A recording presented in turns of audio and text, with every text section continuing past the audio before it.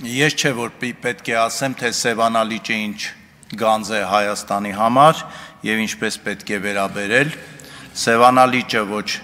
քաղաքացիական պայմանագիր խմբակցությանն է, ոչ ոչ Հայաստան խմբակցությանն է, Սևանալիճը դա հայ ժողովրդի ոչ միայն ներկա, այլ ապագա սերունդներինն է եւ մեր պարտականությունն է, պարտքն է ամեն ինչ անել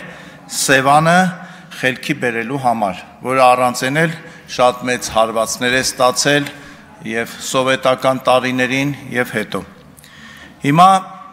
ինչպես նշեց Արծվիկ Մինասյանը, ակնհայտ օրենքին անհամապատասխան առաջարկություն է ներկայացվել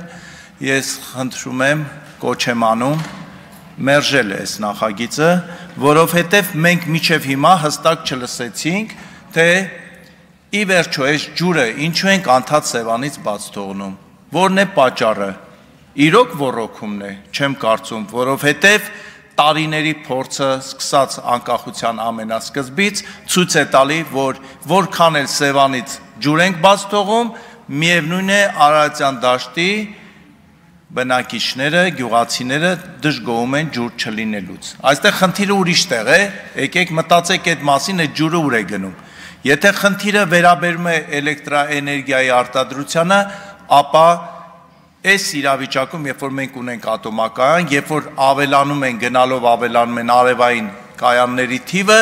այդ մասին խոսելը իրոք абսուրդ է դառնում։ Մենք ունենք օրինակ 2002-ից 2007 թվականները, երբ որ ջուրը Սևանից բաց թողեցինք 120 միլիոն քառակուս միլիոն խորանարդ մետր, որի արդյունքում մենք Սևանը ունեցանք Սևանում ունեցանք 2.5 մետր բարձացում։ Ցավոք սրտի 2008-ից սկսած նորից